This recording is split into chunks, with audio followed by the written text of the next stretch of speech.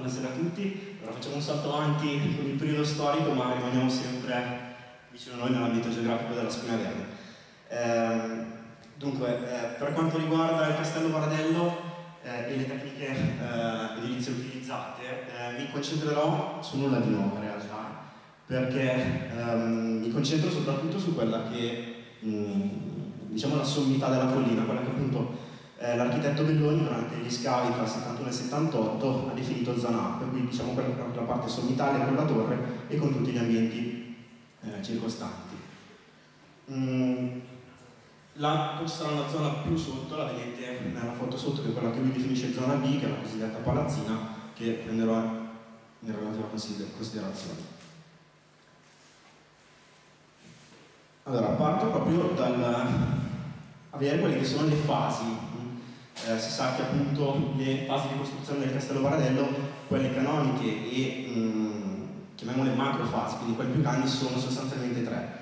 Sicuramente all'interno di queste tre grandi fasi, facendo attenzione su quella che sono eh, appunto anche semplicemente la posa in opera dei, dei vari di pietra, dei vari materiali utilizzati, si potrebbe andare a riscontrarne delle ulteriori fasi più, più piccole. Eh, quella iniziale è che è appunto quella che risale tra il tardo antico e l'alto medioevo, qui ho messo come arco cronologico il V, VII secolo, però eh, sempre con eh, diciamo, il dubbio eh, secolo più e secolo meno. Eh, quello che appunto alcuni hanno identificato con il famoso castrum, eh, castrum Baractelia, che in realtà non è eh, quello che appunto cita Giorgio di Cipro, ma il famoso castrum Bartella che Cipro cita è in tutt'altra, da tutt'altra parte. Eh, in ogni caso il castello nel V secolo, quindi nell'Alto Medioevo c'era ed era formato appunto dalle parti che abbiamo evidenziato in verde, ehm, quindi sostanzialmente da un recinto quadrangolare attorno a una torre, una cisterna per l'acqua, quella che Belloni ipotizza essere una casa torre più all'angolo e una piccola chiesa dedicata a San Nicola eh, il fatto che sia dedicata a San Nicola è già un'ulteriore conferma che probabilmente il castrum è di età bizantina e di costruzione bizantina. Ehm, la seconda fase, quella che, ecco, ho messo questa foto perché Giambelloni ehm, faceva il confronto con quello che era la parte quadrangolare attorno alla torre con il recinto di Santa Maria Rezzonico, che è più o meno della stessa eh, epoca, ehm, soprattutto i materiali e le tecniche costruttive, perché poi vedremo anche il recinto eh, del Paradello più avanti e vi renderete conto che è veramente simile. La seconda fase, quella che diciamo i comaschi conoscono un po' più da vicino perché è quella legata a, a, alla ricostruzione delle fortificazioni comasche da parte di, di, Federico Barbarossa e per quanto riguarda appunto eh, il nostro castello Paradello abbiamo la prima parte della torre e parte della eh, ricostruzione del, delle murature attorno. E poi l'ultima uh, fase, che è quella di epoca viscontea, um, si tiene come riferimento il 1426, ma in realtà probabilmente eh, il rifacimento è un po' più antico, perché il 1426 in realtà si, fa, si rifà a una data eh, in cui sono stati stipulati degli appalti di acquisto di materiali relativi alla costruzione e diciamo comunque alla manutenzione del castello, quindi probabilmente di qualche, eh, di qualche anno, di qualche decennio precedente. Eh, di questa fase appunto abbiamo la sopraelevazione della torre con le relative eh, sopraelevazioni dei, delle mura attorno,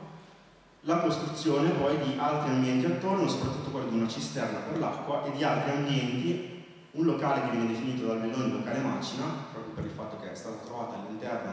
questo manufatto, e altri tre eh, locali, eh, Belloni eh, li definisce ambienti di servizio e eh, effettivamente eh, solo eh, diciamo che fonti scritte ci potranno dare una risposta su questo. Procediamo oltre. Eh, per quanto riguarda appunto eh, queste tre macrofasi, ovviamente la distinzione è data da, che cosa? Dal, innanzitutto dal tipo di materiale che è stato utilizzato eh, e soprattutto anche dalla posa in opera. Vi ho messo questa foto dove salta subito all'occhio questo è diciamo, il muro più antico, quello attorno alla, alla torre, questo qui, e questo che lì si appoggia, si vede chiaramente eh, in quest'angolo qua ad appoggiarsi contro, quindi successivo, costituito da un materiale diverso e anche eh, lavorato in modo diverso. Inoltre c'è l'apertura, eh, che è quella che consente eh, a volte di datare anche il, ehm, diciamo, la parete, in quanto eh, comunque c'è un riferimento stilistico. Anche se, ripeto, andando a vedere poi all'interno di questa parete eh, si vedono parecchi eh, rifacimenti, ci sono alcuni blocchi con delle, eh, delle incisori moderne eh, che che sono stati riutilizzati, l'iscrizione al contrario, quindi sono stati messi, messi successivamente. È interessante poi cogliere che l'impianto del castello più antico va proprio ad appoggiarsi a costruirsi direttamente su quella che è la roccia antica, cioè la roccia del posto.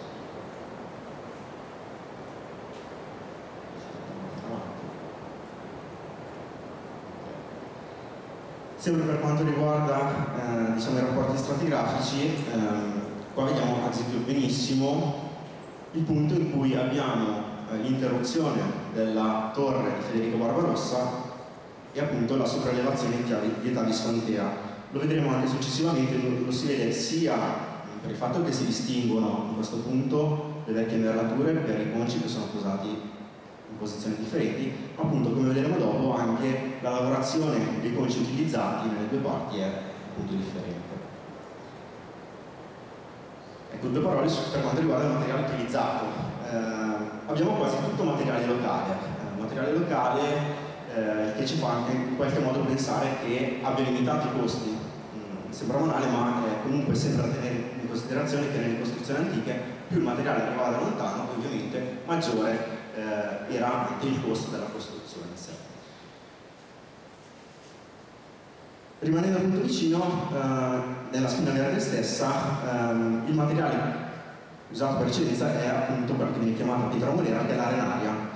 Eh, siamo abituati sempre a vedere questo sasso da camerlata, in realtà di dietro c'è una, eh, una, delle cave, probabilmente anche quella utilizzata per la costruzione del baradello stesso. Eh, la, ehm, l'arenaria la si trova prevalentemente utilizzata nella torre, eh, raramente la si trova nelle, ehm, nelle costruzioni diciamo, della fase più antica, quindi della fase alta medievale, se ne trovano alcuni blocchi eh, e non lavorati come quelli che abbiamo nella torre.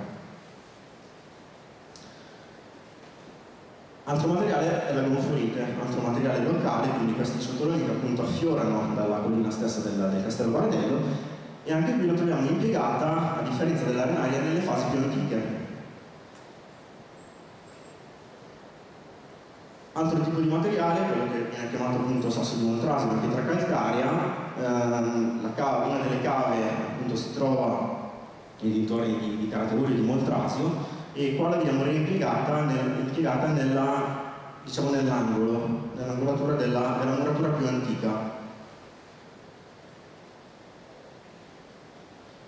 Abbiamo poi dei servizi di graniti sia nelle fasi più antiche, questa è sempre l'angolatura di prima dove appunto vediamo alternati dei conci di, eh, calcare in moltrasio con dei blocchi sempre sbozzati di granito. Qui ritorneremo dopo su questo argomento, è un blocco di granito ma in realtà riutilizzato e poi troviamo lo stesso materiale ancora in un architrave dell'età, diciamo, della fase viscontea. Altro materiale che si trova utilizzato qua e là all'interno delle murature, soprattutto quelle più antiche, quindi quelle alto medievali, è il marmo di Musso, ne vediamo qua alcuni dei frammenti, sempre nella cinta muraria più antica. E vedete che qua si, si vede, si nota che si tratta di un frammento riutilizzato, si vede chiaramente che è eh, appunto la lavorazione del blocco. E poi c'è l'impiego dell'aterizio che è molto, molto eh, raro. Abbiamo l'aterizio sia per quanto riguarda la fase più antica, eh, vediamo qui questo antegrone di età romana reimpiegato, ma poi anche eh, nella parte dei sopralzi viscontei dove sono stati reimpiegati alcuni laterizi proprio per chiudere gli spazi tra le armature precedenti di età federiciana e poi proseguire a, a innalzare le armature successive. Un materiale che non si conserva più ma che eh, sappiamo essere utilizzato eh, sia dalle fonti scritte perché appunto nelle parti di cui parlavo precedentemente eh, all'inizio eh, sappiamo che ci sono degli ordini di legname ehm, e poi che lasciano nelle murature diciamo, delle tracce in negativo. Eh, qua vediamo nei sopralzi di Viscontea appunto i fori, che sono probabilmente i fori dove eh, dove, dove, si restavano i cammini di ronda, camminamenti di ronda. Ce ne sono poi altri, sempre nelle, nelle, murature, eh, dove ehm, non hanno solo questo scopo, ma sono ad esempio i fori dei ponteggi, quindi i ponteggi che erano stati utilizzati per la costruzione del castello e come succedeva poi in epoca antica venivano magari lasciati perché poi se bisognava reintervenire sulle, sulle murature, quindi mettere nuovamente mano, erano già comodi da appunto poter riutilizzare. Materiale ovviamente che non, del quale non si poteva fare meno era la malta, eh, perché appunto era elegante che teneva assieme eh, il tutto. Qui ho messo appunto quello che era il procedimento, lo si otteneva sia dalla cultura di rocce calcaree ma anche dalla, dalla cultura di marmi, soprattutto nella fase tardo antica, non, so, non solo per Como ma per gran parte delle, delle, diciamo, delle città dell'epoca, eh, molto del marmo di romana veniva appunto cotto per poter appunto eh, ottenere della calce, della malta. Un altro tipo di malta particolare utilizzato nella, diciamo, nel castello Vardello lo si trova soprattutto impiegato in quelle che sono le cisterne, eh, quello che si chiama pesto. È impiegato nelle cisterne perché la sua funzione era proprio quella di impermeabilizzare la parete, quindi semplicemente della malta di calce eh, mescolata appunto con dei laterizi eh, qui ho messo la fotografia di quella che è la, uh, la cisterna sulla piazza d'Armi, per, per, chi ha presente quel pianoro eh, in fondo, la Polavaita dove c'è la torretta. Eh, in questa foto che era stata scattata d'estate si vede molto bene il paramento qui in fondo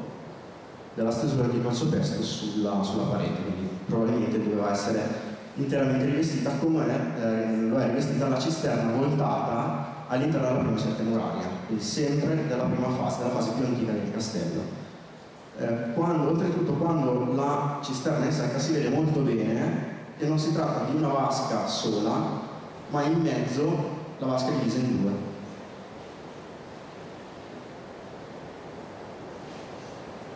Per quanto invece riguarda le tecniche divise, quindi il modo in cui è stato messo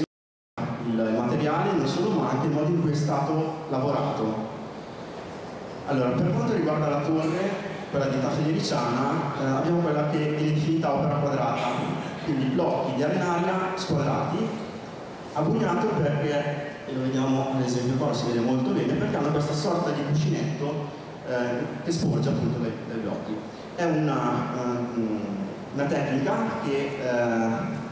si, si, inizia a, a utilizzare eh, intorno al XII secolo, soprattutto con il bugnato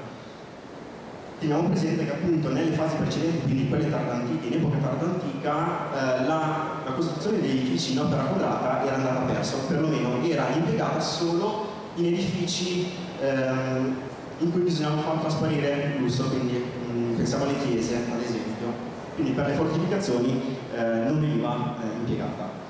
Anche perché questo prevedeva comunque l'impiego di manodopera solitamente orientale quindi che arrivava dall'estero, che arrivava da lontano e che quindi andava pagata.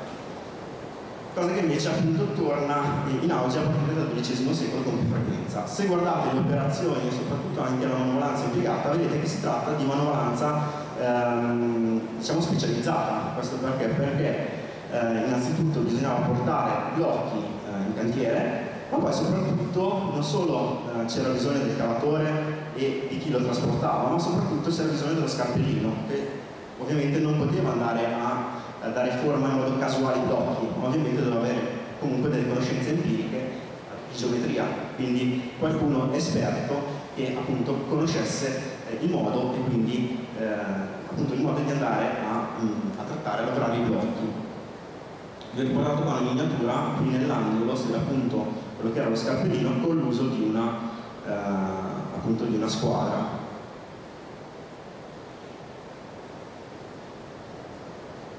Questa è la parte del soppranzo visconteo dove comunque viene usata l'opera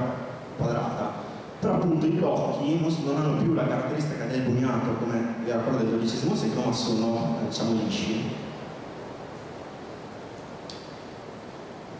Nella fase più antica invece viene utilizzato un altro tipo di eh, appunto, tecnica costruttiva, eh, che è appunto quella che viene definita piccolo apparato, quindi blocchi di piccole dimensioni in questo caso, eh, che addirittura non sono neanche sbozzati, quindi non, richiede, non richiedono l'intervento dello scalpellino, ma sem semplicemente l'operaio e il muratore è, in grado di metterli in opera. Eh, nel, nel, caso del, del Castello Vardello si, si, tratta soprattutto di ciotoli, eh, quindi mh, mm, neanche appunto di, di blocchi sbozzati. A differenza però dell'opera uh, dell quadrata in cui dicevamo era lo scarpellino che doveva conoscere uh, e avere degli elementi di geometria, quantomeno empirica, qui il muratore nonostante probabilmente non aveva delle conoscenze di geometria doveva comunque essere in grado di mettere in opera del materiale che non era regolare. Uh, ovviamente è molto più difficile mettere in opera dei ciotoli rotondi rispetto ai blocchi quadrati che vanno semplicemente a sovrapporre. Per cui si presuppone che comunque il tipo di, ehm, diciamo, di maestranze che andavano a operare in questi, in questi cantieri avessero comunque eh, delle esperienze molto eh, grandi alle, alle spalle.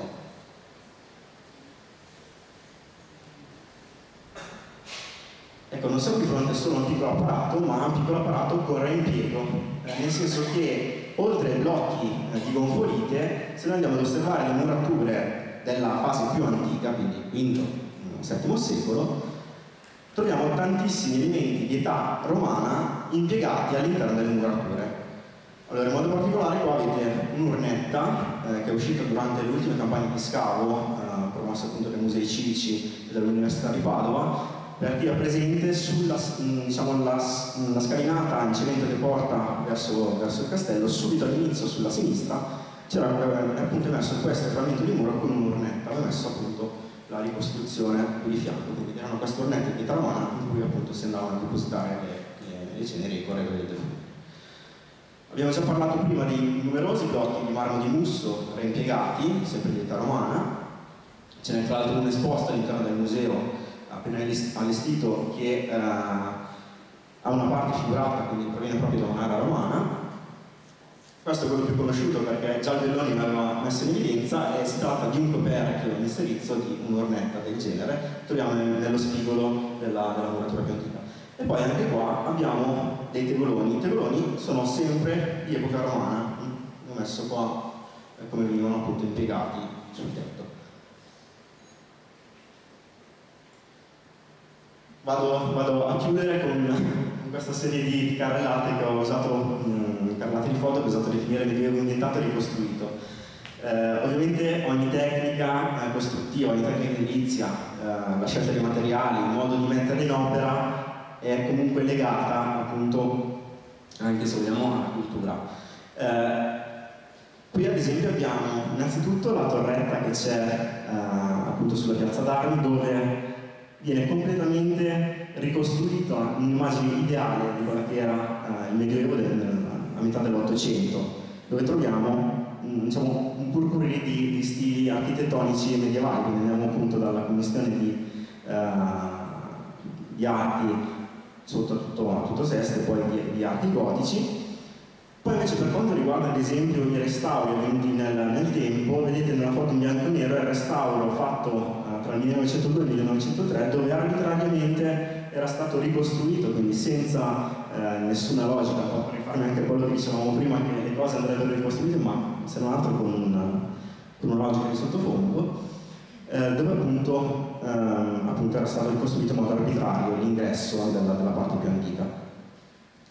Durante gli scavi appunto degli anni 70 il Belloni va a ricostruire per Nastilosi un arco, lui l'aveva rinvenuto all'interno dello scavo, quindi tutto sommato lo mette in opera ma tenta in qualche modo di fare capire che l'operazione è stata fatta successivamente inserendo dei laterizi. Mi viene da sorridere sempre sugli interventi del Belloni perché lui va a ricostruire quasi totalmente gli ambienti, uno non se ne accorge, ma se noi andiamo a diciamo, ad osservarli con occhio critico, ci rendiamo conto che la tecnica che lui ha utilizzato, che, è stata utilizzata per la costruzione dell'ingresso, sono ciotoli eh, livellati con, con delle lastre di Montrasio, la ritroviamo poi reimpiegata in gran parte delle murature di Viscontea. Eh, è comunque una logica che si usava anche all'epoca per i restauri, quindi sempre per rimanere appunto in tema e capire quanto le tecniche edilizie in qualche modo ci fanno anche capire la cultura del, del periodo in cui vengono, vengono utilizzate. Ecco, il Baradello comunque, soprattutto nella zona, dicevo prima, avrebbe ancora molte cose da dire. Gli scavi che sono stati fatti negli anni 70 da, da Belloni, eh, è vero, lui in qualche modo ha sterrato e recuperato il materiale, ha dato una fotografia, che è quella che abbiamo attualmente, però appunto se noi andiamo a guardare le murature ci possono dire ancora molto, eh, soprattutto su quella che era la configurazione architettonica di alcuni ambienti che secondo me non sono stati visti e, e in realtà hanno lasciato delle tracce ancora, ancora visibili. Eh, io concludo qua, eh, grazie.